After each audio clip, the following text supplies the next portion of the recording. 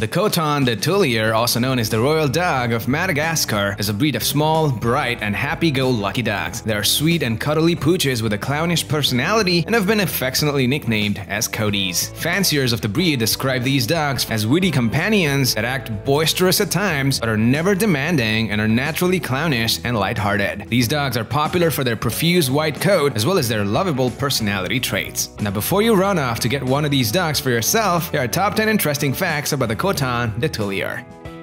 Number 1. Their history. The Coton is a dog of Bichon type and is closely related to the Bichon Tenerife and the Tenerife Terrier. The breed developed on the island of Madagascar and is still the nation's national dog. Some believe they were brought to Madagascar by pirates in the 16th and 17th centuries. However, others tell of how these little white dogs accompanied ladies on long sea voyages or were used as rattlers on ships. Either way, they soon established themselves after their arrival and became popular amongst the royalty who were the only people allowed to keep a Dr. Robert J. Russell is credited with bringing the first Cotons to America in 1973 and also for coining the phrase the royal dog of Madagascar. Subsequently, in 1974, Madagascar released a stamp with the image of the Coton affirming the breed's status as the nation's royal dog. These dogs entered the AKC's Foundation Stock Service in 1996 but were not given full recognition as a breed until 2014.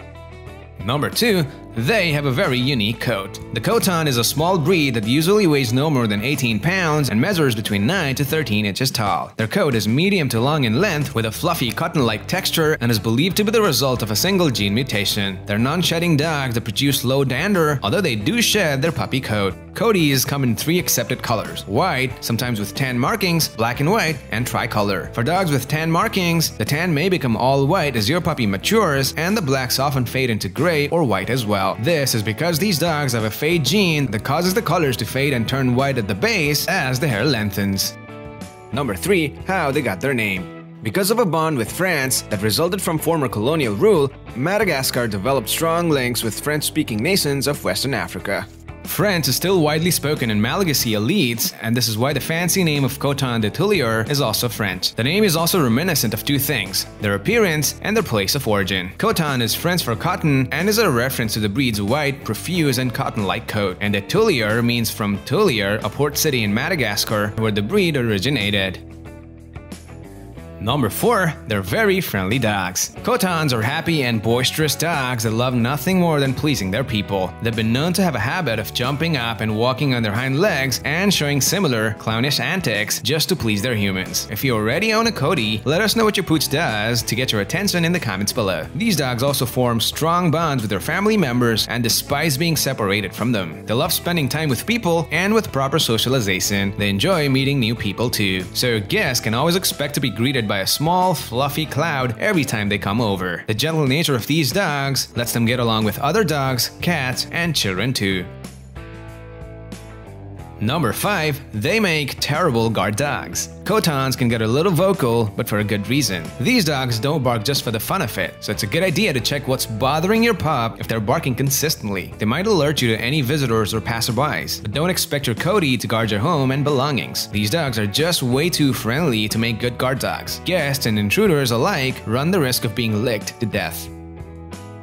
Number 6. They're quite rare. Malagasy aristocrats were jealous guardians of the Coton de Tulear. This is also why commoners were prohibited from even owning a Coton. They were also purportedly very reluctant to let their little white dogs leave the island. This resulted in the breed remaining isolated from the rest of the world for centuries, and Coaties ended up becoming quite rare. The breed is believed to have faced near extinction multiple times already. Unfortunately, this means that getting your hands on a Cody can be both difficult and pricey. The average cost for most Cotons is $1,000 although prices can go as high as $10,000 for a puppy with top breed lines and a superior pedigree.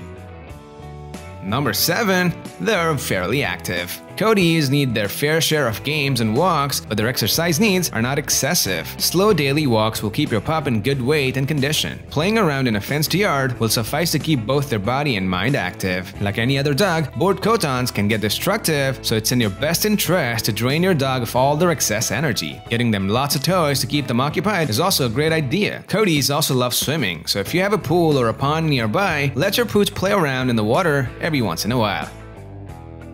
Number 8. They have a rarer variety. The already rare Coton de Tulear has an even rarer variant known as the tall Coton. They stand taller at 15 to 17 inches compared to the 9 to 13 inches of a normal Cody. They're the result of mutation in genes that control the growth of the body's long bones and are extremely uncommon. The long-limbed tall Coton also comes in all three color varieties and are born to a litter with normal-sized parents that carry the appropriate genes.